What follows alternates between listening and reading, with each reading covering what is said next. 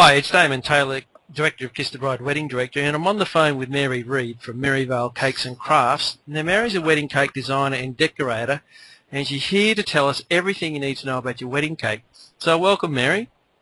Hello, Damon. Thank you for the opportunity. That's all right. Now, Mary has a special bonus that she'll share with us towards the end of the call, so make sure you listen all the way through. So, Mary, let's hop right into it. Um, give me the 60-second version of how you became a well-known cake decorator and why you love it so much.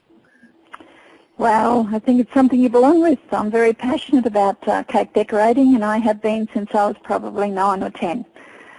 So um, I learnt when I was 16 and I kept going and um, in the last 15 years the, the craft has changed so much that it's now an absolute um, essential thing for me every day. So you love it that much? Yes, I do. Mm. Well, thanks yes, for that, Mary. Well, that's the 60-second version. I'll uh, I'll ask you a few more questions along the way. Um, stay on the phone. You're listening to an interview with celebrated cake designer Mary Reid from Maryvale Cakes and Crafts. Uh, stay with us as Mary tells tells us how uh, to get the best out of your wedding cake. Uh, Mary, when choosing a wedding cake, what kind of questions should I be asking my cake decorator? Well, regardless um, of who your decorator is, it's important that you take along certain information to help the decorator help you get the um, best cake that suits both you and your dreams as well as your budget. So the type of questions are based on what tone do you want the cake to set. For example, you don't have a four-tier classical cake if you're having a beachside wedding. The other question that you need to ask is do you want your cake to be themed along with the invitations and the colours? Uh, the most important questions about the size cake you will need uh, are based around the number of guests. Are you having your cake for dessert or for treat? Do you want to keep any part of your cake for the first anniversary? And are you having uh, what's become known as the morning after cake? So they're the types of questions your, your uh, decorator will need to know. And before she can give you a, a quote, she will have to uh, come up with some type of design with you. And the design, again, is based around the tone. Do you want something elegant, something informal? Um, how much uh, elaborate work do you want on your cake? So they're the types of things you need to be thinking about before you get to your decorator. All right. And uh, what about price, Mary? Well, every decorator has a different pricing model, um, and the price is based on the size cake that you need and the amount of decoration that you require. Also involved in price would be do you want the cake delivered? Uh, some decorators have a simpler system. My cakes are priced in a standard range of designs or an elaborate range of designs. So uh, every decorator has worked out a, a, pricing model that suits their own business process. But I believe that you can start two-tier wedding cakes, uh, the 6 and 10 inch, around the 4 to 460. I think you'll find that's pretty much an industry standard.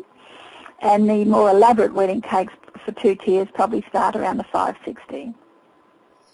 All right, thanks for that, Mary. Uh, you're listening to an interview with celebrated cake designer Mary Reid from Maryvale Cakes and Crafts.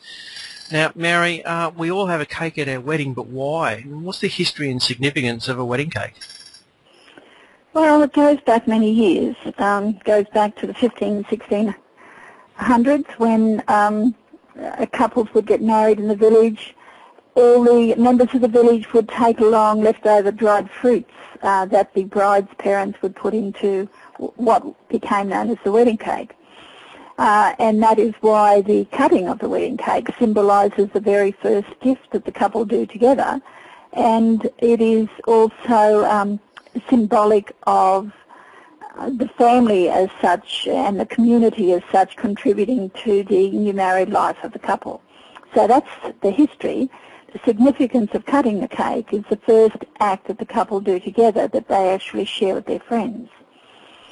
So do we want a cake just as part of history? I think cake is very much part of our, our life and our way of life. And yes, it's the history, but it is also um, a feel-good opportunity. Right. So, um, and how much lead time should I allow for a wedding cake then? Well, uh, wedding cakes can be done uh, on a whim uh, and on a small budget or a big budget. So lead time again comes back to is your decorator available for the date you want. It's not necessarily how much time it takes to decorate a cake, but it does um, come back to how much, how many other cakes the decorator may have already booked in on the day that uh, of your wedding.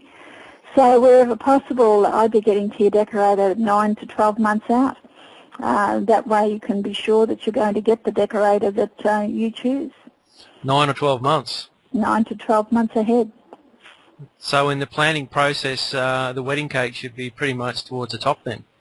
Well, I, I would consider that. Um, I'm turning uh, brides away because a lot of them have a, uh, are following a, a misconception that you wait until you've got your final uh, numbers from your RSVPs before you order your, your wedding cake. Um, what people don't understand is that wedding cakes are a drying process, require a drying process, particularly if there's flowers and novelties involved. So um, nine months out is, you know, when you choose your decorator, um, you can finalise your design along with um, themes to any other coordinated points that you want, your invitations or flowers, um, and you can take, you know, up to four, four months out for that. But uh, you really need to think of the workload and the uh, work process for the decorator. So, yeah, anything shorter than six months, it's a case of first in, best dressed. You mentioned novelties and things there, Mary. What are those sorts of things? Um, character figures, sugar figures for bride and groom. Um, a lot of couples like to have their animals on the cakes or their children if they have them.